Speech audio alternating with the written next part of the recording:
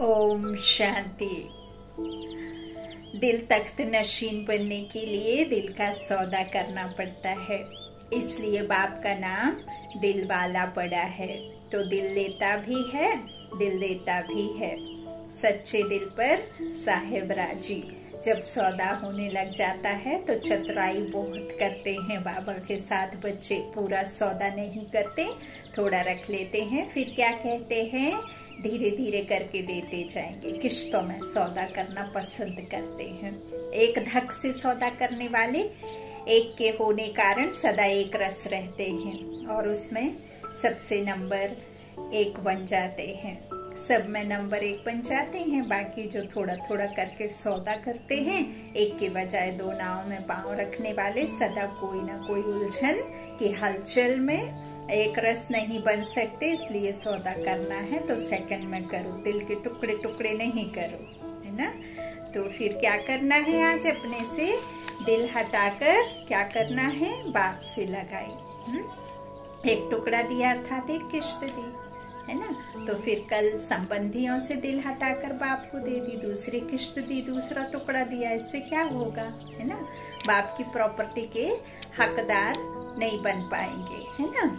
तो इसीलिए दिलाराम बाप को सच्ची दिल पसंद है और टुकड़े टुकड़े में नहीं, एक साथ एक बार में सेकंड में पसंद है। अच्छा आज तेईस छह दो हज़ार तेईस के ईश्वरीय महावाक्य हैं। आज के साकार मुरली का सार, मीठे बाबा ने कहा, मीठे बच्चे, तुम सबका प्राण आधार आया है। तुम्हें जमघटों की दुखियों की पीड़ा से छुड़ाने वह तुम्हें स्वर्ग का वर्षा देता, वह सर्वव्यापी नहीं है। बाबा ने आज सबसे पहले यही कहा कि मैं दुख हरता, सुख करता हूँ। मैं तुम्हें क्या देता हूँ? स्वर्ग का वर्षा देता हूँ। और पापा कहते हैं, तुम सबका कौन हूँ? प्राण आधार हूँ। तो मैं सर्वव्यापी नहीं हूँ। अपने बाप को सर्वव्यापी कहना छोड़ो। सबको समझाओ कि सर्वव्यापी नहीं हो सकता भगवान। कंकड़ कंकड़ पत्थर में नहीं है। हुँ? प्रश्न है, इस राजयोग में कौन सा योग सदा का माइंड है? उत्तर इस राजयोग में प्रजा योग सदा ही कमाइंड है, क्योंकि राजा रानी के साथ साथ प्रजा भी चाहिए। ऐसे नहीं है कि सिर्फ़ लक्ष्मी नारायण के राज्य करने से, उनके राजा रानी, महाराजा महारानी बनने से राज्य चल जाएगा। राज्य में प्रजा भी चाहिए। इसीलिए बाबा क्या कह रहे हैं, इस राजयोग में प्रजा योग सदा ही का माइंड है, क्योंकि राजा रानी के साथ साथ प्रजा भी चाहिए।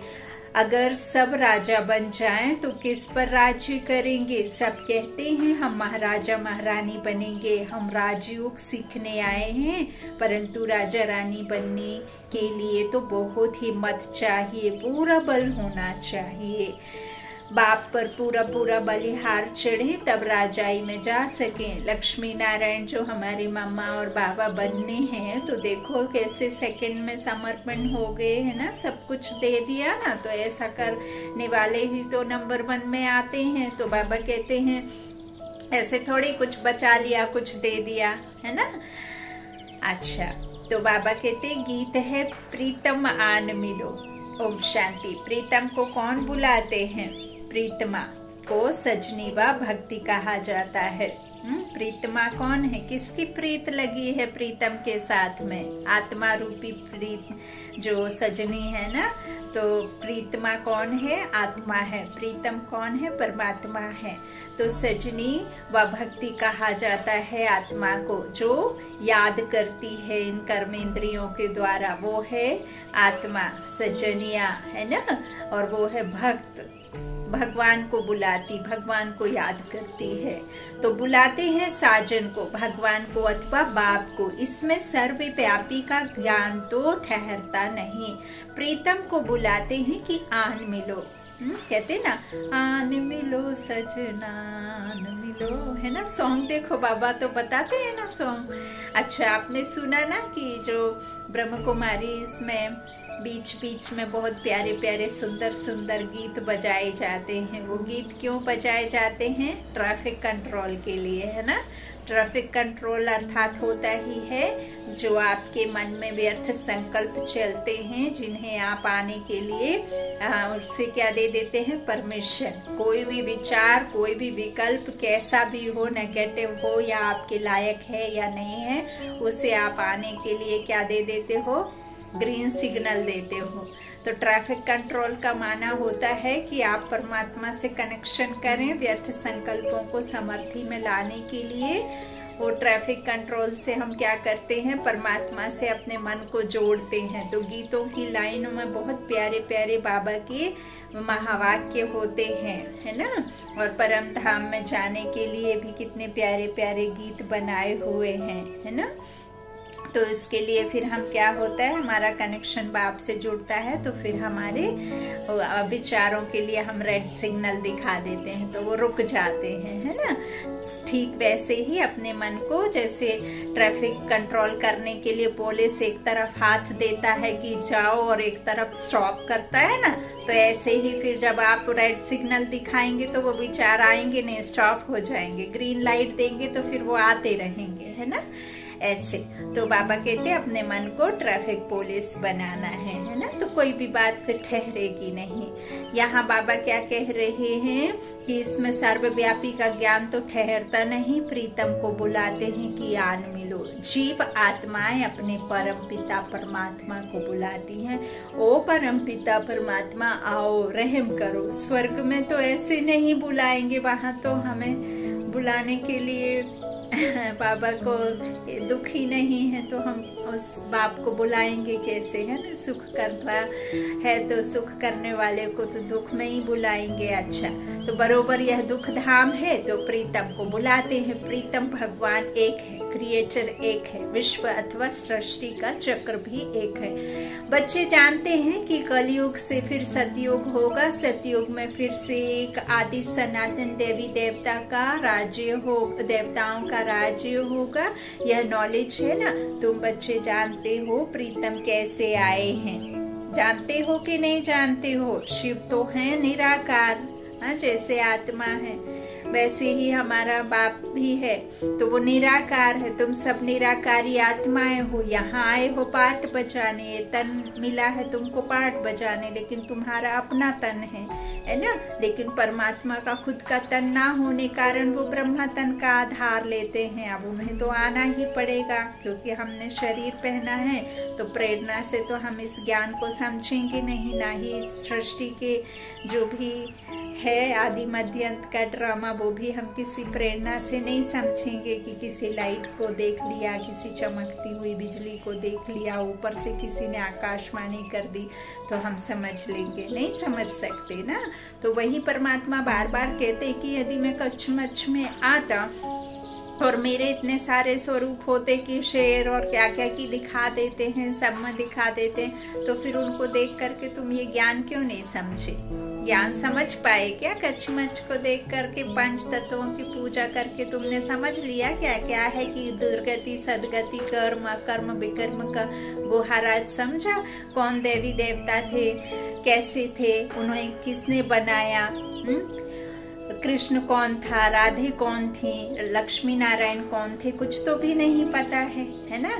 तो प्रेरणा से थोड़े ना कुछ बात बनती है और तुम जीव आत्माओं को समझाने के लिए, मेरे को भी कर्मेंद्री मुँह चाहिए बोलने के लिए, तुमको सुनने के लिए जैसे कान चाहिए, है ना? आत्मा में धारणा होती है तो मैं परमात्मा हूँ, मैं ज्ञान सागर हूँ और आकर के फिर इसके द्वारा ज्ञान मुझे देना ही पड़े, शरीर लेना ही पड़े।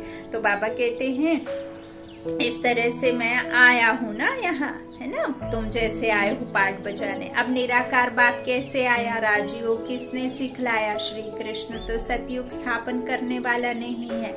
उनको रचयिता नहीं कहेंगे। सभी जीवात्माओं का प्रीतम एक परम पिता, परमात्मा क्रिएटर निराकार को कहेंगे।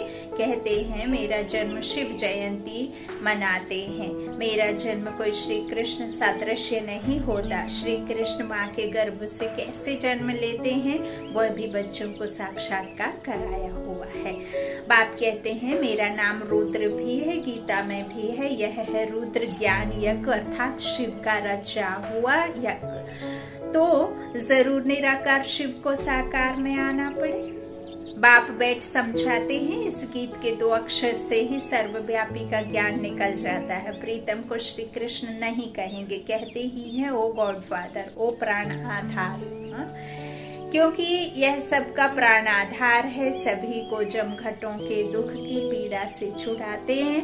तो ज़रूर उनको आना पड़े। बाप कहते हैं, मैं कल्प कल्प कल्प के संगम युगे आता हूँ। यही कल्याणकारी संगम युग है। सतयुग के बाद तो फिर दो कला कम हो जाती हैं। यही संगम युग चढ़ती कला का युग है। इसमें बुद्धि से काम लेना चाहिए। नए के लिए तो बहुत सहज समझाते हैं। तुम्हारा बाप निराकार परम पिता परमात्मा शिव है। उनको याद करो, बस और गुरु गोसाई आदि के मंत्र सब है भक्ति मार्ग के। ना तो गुरु गोसाई के मंत्र याद करने से और ना ही ओम हीम ह्रीम क्लीम चामुंडा बिच्छे कहने से और ना ही जय हनुमान ज्ञान गुण सागर जय कपेश ने लोग कुछ अगर आप करते ही तो आए तो आप से। फिर क्यों आपके घर के कष्ट, कलह, क्लेश नहीं खत्म हुए? क्यों आपके घर में धन जमा नहीं हुआ? कहते हैं कि हम जो है लक्ष्मी के मंदिर में जाके खूब चढ़ोतरी देंगे तो धनवान बन जाएँगे। अरे यदि ऐसे ही लक्ष्मी ना लक्ष्मी के मंदिर में जा करके कोई धन देता साड़ी चढ़ा देता उनको जो, जो जेवर से पहना के भरपूर कर देता उनको सजा देता मूर्तियों को तो जो बाहर बैठे हैं भिखारी जो दिन रात मंदिर के आगे बैठे रहते वो कभी बेघर नहीं होना पड़ता और ना ही उनको अभाव होता धन का। तो ये सब अपने अपने कर्मों का, श्रेष्ठ कर्मों का गुहा राज बाबा हमें समझाते हैं कि जितना अधिक तुम्हारे कर्म श्रेष्ठ बनेंगे, उतने ही तुम धनवान होगे। लेकिन फिर भी बाबा यह बात भी कहते हैं कि जो जितना गिरा है, वो उतना उठेगा भी। जो और जो जितना उठा है, वो उतना गिरेगा भी। तो सबसे जास्ती भारत देश ही उठता है और सबसे जास्ती भारत देश ही गिरता है। और बाबा ने अभी चार दिन के पहले की मुरली में भी कहा पहले कि जो पिछाड़ी में जैसे अब विदेश में जो और और धर्म में हैं, वो सब देखो कितने कहना चाहिए सुखी हैं, है ना, धर्म, दूसरे धर्मों के। तो बाबा कहते हैं उसका कारण है, क्योंकि जो बाद में आत्माएँ आती हैं ना तो सबसे पहले वो यहाँ आकर के सुख भोगती हैं। क्यों भोगती हैं सुख? क्योंकि वो पिछाड़ी में आती हैं तो वो आत्माएँ प्योर आती हैं ना? तो जब प्योर आत्माएँ रहेंगी तो उनको आते ही दुख थोड़ी होएगा। बाप का तो आदि से ड्रामा में पार्ट है तो आदि से अंत तक आप कितने अनप्योर होते गए ना? बाबा कह रहे ना, सतयुग में आप सतयुगी आत्माएँ होती हो सौ सुख होते हैं। लेकिन फिर जैसे ही दो, त्रेता में आते हो तो आप सूर्यवंशी से चंद्रवंशी, दो कलाएँ कम हो जाते हैं। तो चढ़ती कला और जो कमाई का युग है, वो सिर्फ़ संगम युग है है ना? तो इस सब में बुद्धि से काम लेना है। नए के लिए तो बहुत सहज समझाते हैं। तुम्हारा बाप निराकार परम पिता परमात्मा शिव है। उनको याद करो, बस। और कुछ भी नहीं। जो कुछ भी आपने पढ़ा है, हद का वो सब कुछ भूल जाओ।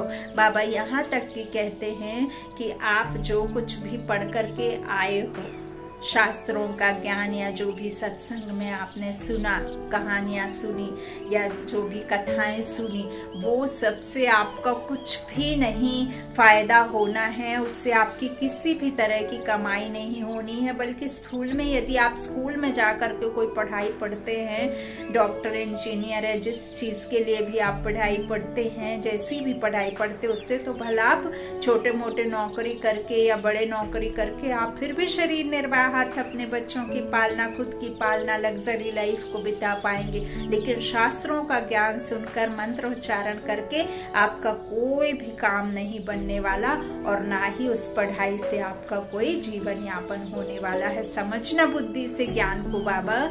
किसी को ये नहीं कहते हैं कि भक्ति वालों को खींच लाओ, लेकिन परमात्मा कहते हैं, सबको यहाँ ही आना है और कोई दुनिया में है ही नहीं मेरे अलावा। इस संसार में जो देवी देवता नहीं तो फिर मनुष्यों के पास वो ताकत हो ही नहीं सकती। तो परमात्मा ही है एक मुक्ति जीवन मुक्ति दाता तो सबको ले जाएँगे वो। तो अच्छे से जाओ, बुरे से जाओ, ज़बरदस्ती जाओ या प्यार से जाओ, साथी बनकर जाओ या पिछाड़ी में जाओ, जाना ज़रूर है।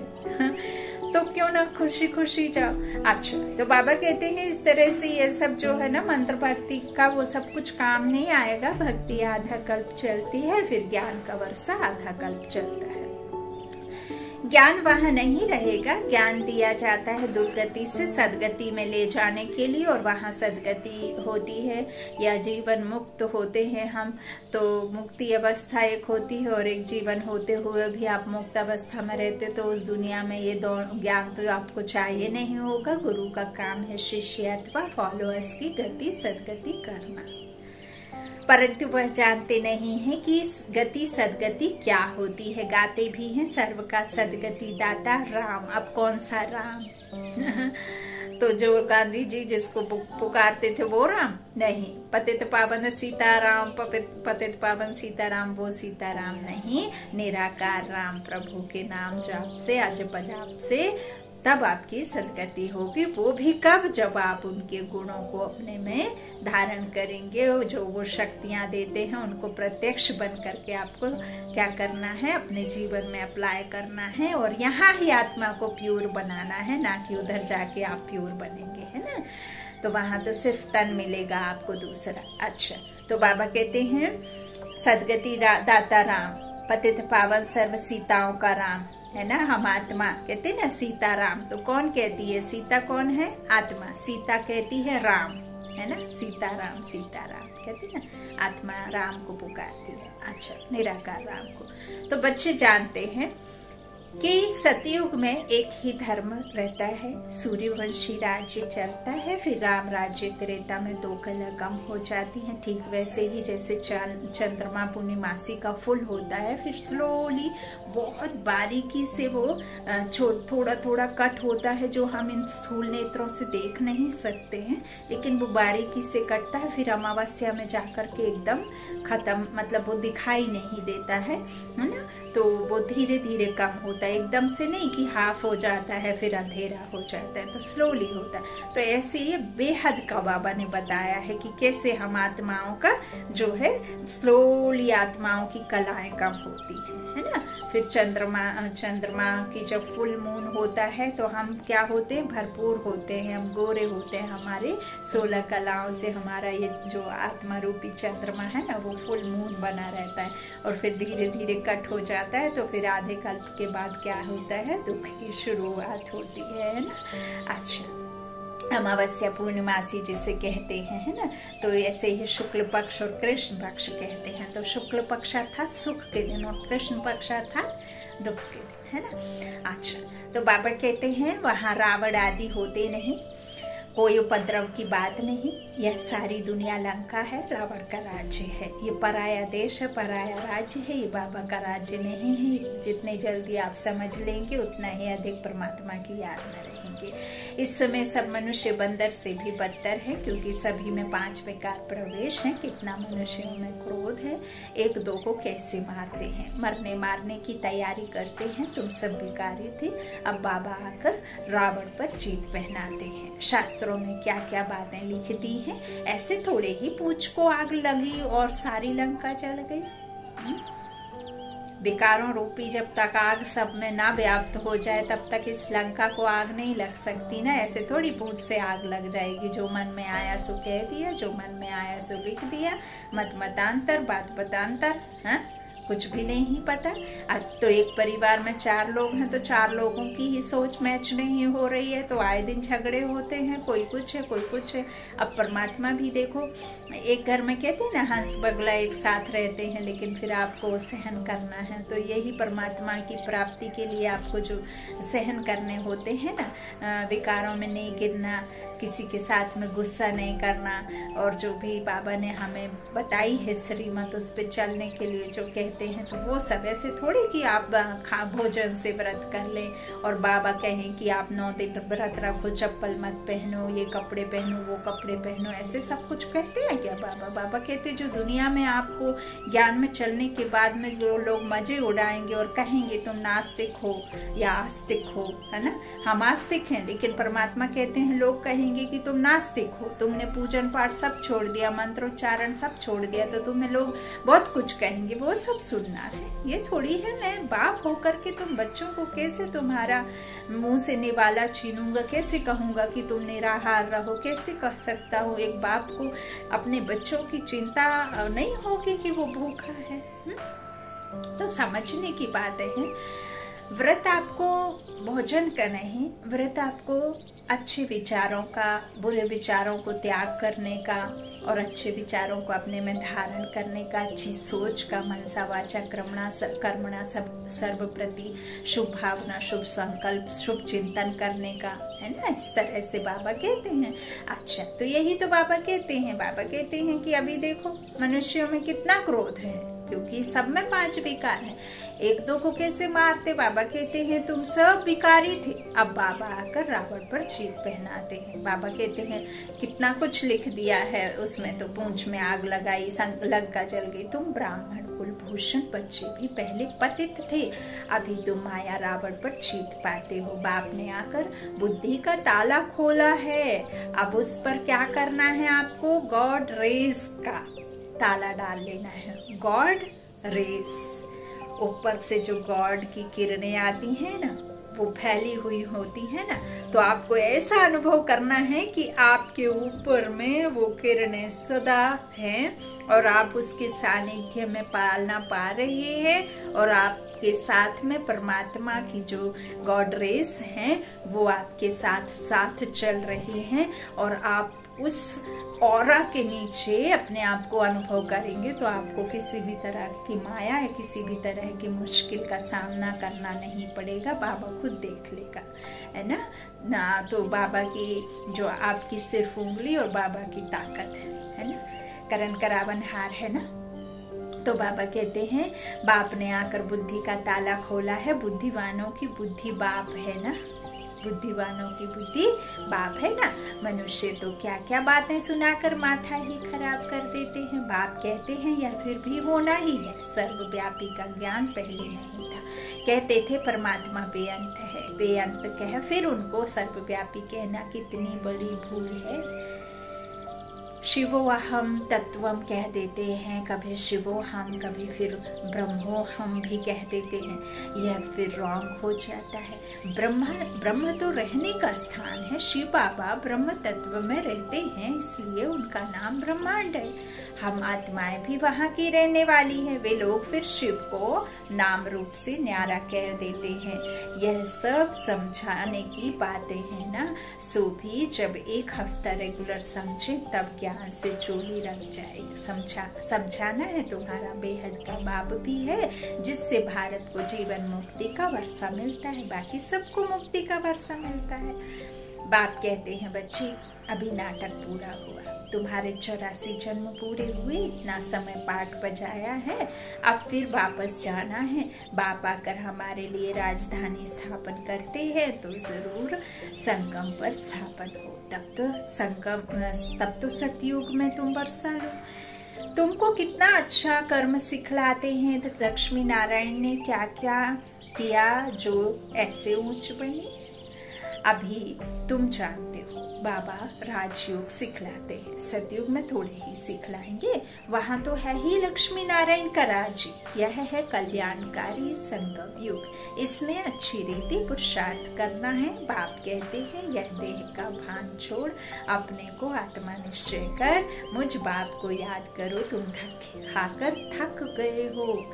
ब्रह्मा मुख वंशावली ब्राह्मण ब्राह्मणिया ही त्रिकालदर्शी बनते हैं। बनाने वाला बाप है स्वदर्शन चक्र भी तुम फिराते हो। विष्णु को इस त्रिकालदर्शी नहीं है। उन्होंने फिर विष्णु को अलंकार दे दिए हैं। वास्तव में त्रिकालदर्शी तुम ब्राह्मण बनते हो और अलंकार भी ब्राह्मणों के हैं। वर्णों का भी समझाया है। छोटी है ब्राह्मण वर्ण। हम्म?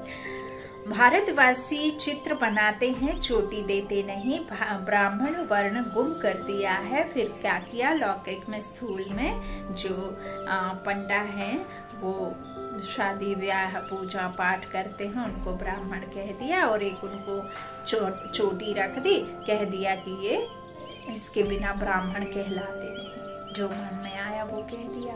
और हमने तो ना जाने कब से सुनते आ रहे हैं। अब हमें पता चल गया ना कि हम द्वापर से सुनते आ रहे हैं। तो द्वापर से हम सुनते आ रहे हैं हमारे बड़े बुज़ुर्ग कहते आ रहे हैं उनके बुज़ुर्ग उनसे कहते उनके बुज़ुर्ग उनके उनसे कहते ऐसे करके ये बातें सुनते सुनते सुनते सुनते सुनते सबको वही आ, हो गया पक्का है ना? तो कहते हैं कि ये तो चला आ रहा है। अब बाबा कहते हैं ये कैसे चला आ रहा है? तो मैं तुम तुम बच्चों को बैठ समझाता हूँ, है ना? उन्होंने झोला टांग के यहाँ वहाँ पूजा कर दी।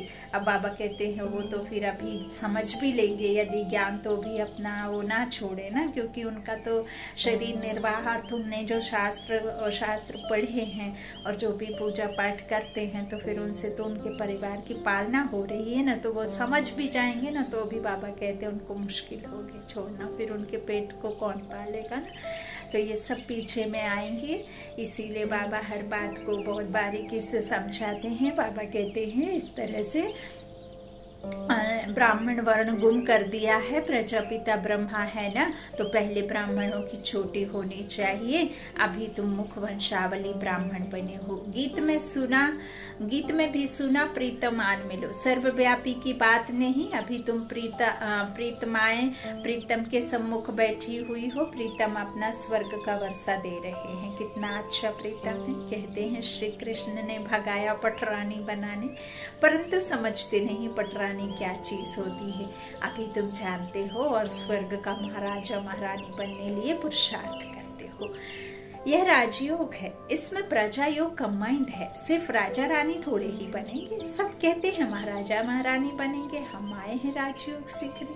परंतु सब थोड़े ही महाराजा, महारानी बनेंगे। हिम्मत चाहिए, पूरा बल होना चाहिए। भक्ति मार्ग में जब नौधा भक्ति करते हैं, तब साक्षात्कार होता है। शिव बाबा पर बलि चढ़ते हैं। वास्तव में बलि चढ़ना भी यहाँ की बात है। यह भी समझाया है। गीता, भागवत, रामायण, वेद आदि सतयुग त्रेता में होते नहीं। समझ लो जल्दी से। ऐसे नहीं, परंपरा से यह कोई चले, आते हैं। ये तो द्वापर से चले हैं। फिर द्वापर में ही बनेंगे। मुसलमानों ने आकर राज्य लिया। मोहम्मद गजनबी ने लूटा। यह सब बातें तुम जान गए हो। हमने ही पूज्य से पुजारी बन अपना मंदिर बनाया तो कितनी हमको मिल्कियत होगी। पाँच हज़ार वर्ष की बात है। सो भी शुरुआत में शुरुआत में हुआ ये सब। फिर भक्ति मार्ग में भी तुमको कितना धन रहता है। जिसने हीरो जवाहरों का मंदिर बनाया उनका अपना महल क्या होगा? नाम कितना ऊँचे? लक्ष्मी नारायण कितने श्रृंगारे हुए देख, देखते हो? अभी तो विचारों के पास पैसा नहीं है। आगे तो लक्ष्मी नारायण के लिए हीरो का सब कुछ बनाते थे। बाद में सब लूट फूट लूट फूट ले गए। वहाँ तो सोने की ईटें होती हैं। तुम उनसे महल बनाते हो। अक्ल भी अच्छा रहता है। सभी तो बेअक्ल हैं। हम्म? बाबा कहते अभी सभी बेअक्ल हैं, लेकिन वहाँ पे सब अक्लवान होते तब तो कंगाल हुए हैं ना। क्योंकि अब समझ ही नहीं है ना। तो शिव बाबा पर वहाँ देवताओं पर कितने कलंक लगाए हैं। क्योंकि बेसमझ है। ना समझ हो करके फिर शिव बाबा पर और देवताओं पर कलंक लगा दिए है ना? कहीं ब्रह्मा को कह दिया कि उसकी बेटी पर दिल आया कृष्ण को कह दिया 108 पटरानियाँ थी फिर क्या कहते हैं ऐसे दिखा देते हैं कि शिव स्वयं स्वयंवर करते हैं। ऐसे राम ने इतना ये किया वो किया फिर उन्होंने सीता को भगा दिया। एक धोबी के कहने पर उन्हें वनवास हो गया? हाँ, फिर लव कुश हुए तो उनके ऊपर भी लांछन लगा दिया कि ये तो इतने दिन से हमारे साथ नहीं थी मतलब जो मन में आप ये बताओ, एक भगवान में इतनी शक्ति नहीं होगी कि वो अपने ही पत्नी को बाहर भेजना पड़े, उसको किसी के कहने पर ऐसे दुख वहाँ होते ही नहीं, ऐसी कोई किसी तरह की बात होती ही नहीं, जिसकी वजह से एक भगवान को अपनी पत्नी को कहीं दूर भेजना पड़े, हा?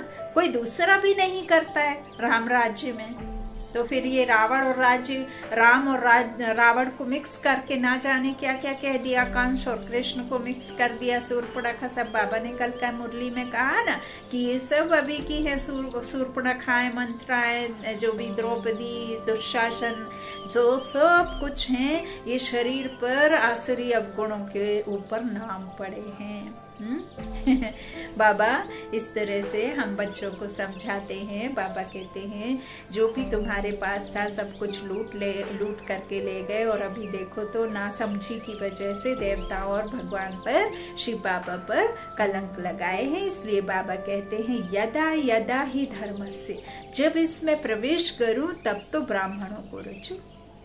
ब्रह्मा मुख से भारत में ही आकर ब्राह्मण रचते हैं। विलायत जाऊँगा क्या? जो नंबर वन पावन पूज्य था, पुजारी बना है। उनके ही पतित शरीर में आता हूँ। त्रिमूर्ति कहते हैं, शिव को निकाल दिया है, ऊपर बाबा बाबा को उड़ा दिया मूर्तियों में। तो त्रिमूर्ति ब्रह्मा का तो अर्थ ही नहीं निकलता। ब्रह्मा के तीन सिर दिखाए ना तो उनका तो अर्थ ही नहीं निकलता, बाबा कहते हैं। जब मैं आऊँ, तब फिर त्रिमूर्ति को रचू, है ना, रचना है ना बाबा के? तो बाबा कहते हैं त्रिमूर्ति ब्रह्मा का तो अर्थ नहीं निकलता। बाबा कहते हैं, कल्प कल्प संगम पर इस तन में आकर तुम ब्राह्मणों को रचता हूँ। तुम ब्राह्मण ब्राह्मणिया का सर्वोत्तम युग है। अभी तुम ईश्वरीय गोद में हो। ईश्वर बाबा से बेहद का वर्षा लेते हो, जाते हो। उनको ही याद करते करते हम उनके पास पहुँच जाएँगे। कहते हैं ना, अंतकाल जो स्त्री सुमिरे, जैसा सुमिरन वैसा जन्म मिलता है। यह है अंतकाल का समय तुमको बाप बैठ समझाते हैं। इस समय मुझ बाप को ही याद करना है। देही अभिमानी भव अशरीरी भव। अपने को आत्मा निश्चय कर मुझ परम पिता परमात्मा को याद करो। एक जगह निष्ठा में नहीं बैठना है। हाँ? निष्ठा में नहीं बैठना है कमर सीधी करने की आवश्यकता नहीं है पैर के ऊपर पैर चढ़ाने की आवश्यकता नहीं है आ, नीचे से ऊपर पैर करने की ज़रूरत नहीं है कोई ऐसे बैठना नहीं है पता चला टांगों में दर्द है टांग टूटने वाली है कराह रहे हैं याद याद में है नहीं है दर्द में कराह रहे हैं दर्द बाबा तुम्हें याद करूँ कि मैं दर्द सहन करूँ अरे दवा तो दे दो बाबा जब ये ठीक हो जाएँगे तब तो मैं तुम्हें याद करूँ तो बाबा कहते हैं मैं तो कहता ही नहीं हूँ कि तुम ऐसे कष्ट में बैठ करके मुझे याद करो, पलंग पे बैठ जाओ। आराम करो, आराम से याद करो, खाट दी है, क्यों दी है? लेट करके एकदम स्वतंत्र, सच्चे मन से बाबा को याद करने के लिए सब आराम करो। लेकिन मुझे अच्छे से और बहुत प्यार से, मीठे से याद करो और सच्ची दिल से याद करो। है ना? तो बाबा कहते हैं निष्ठा में नहीं बैठना है, बच्चे तो चलते फिरते, उठते बैठते बाप को याद करते हैं ना? बेहद का बाप कहते हैं। और सभी से बुद्धि निकाल मामे कम याद करो, इसी में मेहनत है। चौरासी जन्म लिए, अब यह है अंतिम जन्म है। तुम बाप के बने हो तो उसने ही कितने मीठे नाम दिए हैं। बाबा ने संदेशी द्वारा नाम भेजे।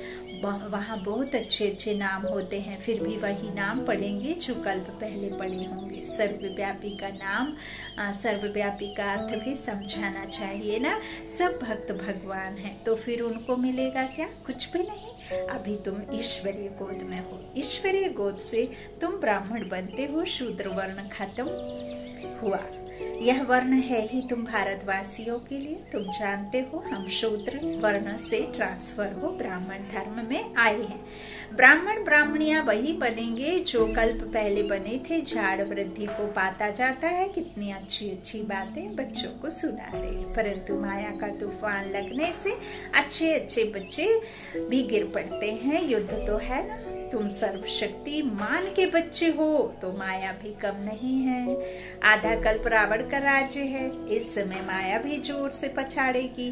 इसको तूफ़ान कहा जाता है। हनुमान का मिसाल है ना तुमको? माया के कितने भी तूफ़ान आए, परंतु हिलना नहीं है। सदैव हर्षित रहना है। जितना रुस्तम बनेंगे, उतना माया ज़ोर से वार करेगी। देखेगी लायक है व नहीं? कहते हैं, बाबा, हमने तो काला मुँह कर दिया। काला मुँह हुआ। बस बुद्धि को ताला लग जाएगा। धारणा होगी नहीं, क्योंकि बाबा को कलंक लगाया ना। लौकिक बाप भी कहते हैं ना, तुम कुल कलंकित हो, बाबा समझ समझाते हैं, तुम कभी भी कुल कलंकित नहीं बनना।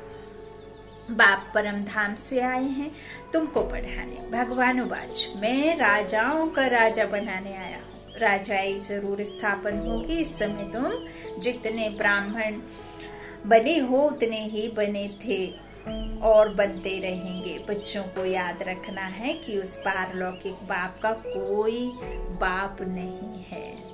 ना उस पारलौकिक बाबा का कोई बाबा नहीं है। वह है ही सुप्रीम नॉलेजफुल मनुष्य सृष्टि का बीज रूप चैतन्य पतित पावन रहम दिल नॉलेजफुल विल्सफुल। मर्सीफुल कौन है? एक ही है ना? तो उन पर कोई विल्स करने वाला नहीं है। वह खुद ही बाप टीचर सतगुरु हैं। बेहद बाप के घर में तुम सम्मुख बैठे हो। यह है ईश्वरीय कुटुंब, वृद्धि को पाते जाएँगे। चौरासी का चक्र भी बुद्धि में याद है। हम सो देवता इतने जन्म, हम सो क्षत्रिय इतने जन्म। फिर हम सो देवता बनेंगे माया दुख धाम बनाती है, बाप आकर सुख धाम बनाते हैं। कितना सहज है, खूब पुरुषार्थ करना चाहिए। आपका पुरुषार्थ कल्प कल्प के लिए तुम्हारा पुरुषार्थ बन जाएगा। कहेंगे कल्प कल्पांतर हम ऐसा पुरुषार्थ करते आए हैं। मम्मा बाबा भी पुरुषार्थ करते हैं। यही फिर पूजे सो देवी देवता लक्ष्मी नारायण बनेंगे। श्रीमत पर हम श्रेष्ठ थे श्रेष्ठ बनते हैं। आज मीठे मीठे सिकीला थे बच्चों प्रति माता पिता बाप दादा का याद प्यार और गुड मॉर्निंग रूहानी बाप के रूहानी बच्चों को नमस्ते हम रूहानी बच्चों के रूहानी माता पिता बाप दादा को याद प्यार और गुड मॉर्निंग शुक्रिया बाबा शुक्रिया धारणा के लिए मुख्य सार इस अंतकाल के समय में एक बाप को ही याद करने का अभ्यास करना है, अशरीरी बनना है, कभी भी कुल कलंकित नहीं बनना है, माया के तूफानों में हिलना नहीं है, सदा हर्षित रहना वरदान, अपने चेहरे रूपी दर्पण द्वारा मन की शक्तियों का साक्षात्कार कराने वाले योगी दुआत्मा भव। जो मन में होता है, उसकी झलक मस्तक पर ज़रूर आती है। बाबा कहते हैं, देखो, आपके एक्सप्रेशन से समझ आता है ना कि आप गुस्से में हो या बहुत कुछ उदास मन है तो आप कितना भी स्माइल फेस पे करेंगे, लेकिन यदि आप अंदर से दुखी हैं तो आपकी स्माइल से समझ में आ जाएगा कि आप एक्चुअली में ऊपर से हंस रहे हैं, है ना? तो ऐसे ही जो परमात्मा हमें कहते हैं ना कि अलौकिकता अपने चेहरे से, अपने मस्तक से ज़रूर दिखानी है, स्वरूप बनना है कि मैं फरिश्ता हूँ। तो फरिश्ते कैसे होते? ऊपर थोड़े उड़ते रहते हैं। यहाँ होते हुए भी नहीं होना, है ना? संत आत्मा, जो महान आत्माएँ होती हैं तो जो गुरु जी बना लेते हैं, जिनको हम जी गुरु जी जी गुरु जी क्यों कहते हैं? क्योंकि वो बहुत कम बोलते हैं। सौ में यदि एक शब्द भी बोलेंगे, लेकिन वो ऐसी बात बोलेंगे जो आपके मन को इतना भावपूर्ण लगेगी और इतना अच्छी लगती है, जिसकी वजह से हम हर बात में हाँ जी कहते हैं, है ना? तो महान आत्माओं के महान शब्द होते हैं, इसीलिए उनको महान कह देते हैं, है ना? अच्छा तो ऐसे नहीं समझना कि मन में तो हमारे बहुत कुछ है, लेकिन मन की शक्ति का दर्पण चेहरा अर्थात मुखड़ा है। ध्यान रखना, कितना भी आपको हो हमारा योग तो बहुत अच्छा है। हम सदा खुशी में नाचते, लेकिन चेहरा उदास देख कोई नहीं मानेगा। पालिया इस खुशी की चमक चेहरे से दिखाई दे। खुश्क चेहरा नहीं दिखाई दे। खुशी का चेहरा दिखाई दे तब कहेंगे योगी तू आत्मा है ना? आपने कई भाई बहनों से सुना होगा कि सेंटर्स पर बहनें इतने प्यार से इतनी मीठे बोलती हैं इतने अच्छे से समझाती हैं उनको गुस्सा नहीं आता हर बात में इतने प्यार से बात करती हैं। दीदी हम कितना भी बड़ी परेशानी लेकर के जाएँ लेकिन वो कभी ये नहीं कहती हैं कि आप जो है हमें आ, आ, कहना चाहिए कि उदास नहीं करती हैं हिम्मत बढ़ाती हैं कितना उनके चेहरे पर चमक होता है, ना कोई साज, ना सज्जा, फिर भी इतने खूबसूरत दिखते हैं। ऐसे सब बोलते हैं, सुना है ना? अच्छा क्योंकि वो क्या है? क्या है? बाबा जो हमें बताते हैं ना, उस पर चलते हैं, वो श्रीमत देते हैं ना तो खुशी का चेहरा दिखाई दे, है ना? तब कहेंगे, योगी, तू आत्मा स्लोगन जब सरल स्वभाव सरल बोल। सरलता संपन्न कर्म हो, तब बाप का नाम वाला कर सकेंगे। जब सरल स्वभाव, सरल बोल, सरल संपन्न कर्म हो, तब बाप का नाम वाला कर सकेंगे। अच्छा ओम शांति। ओम शांति।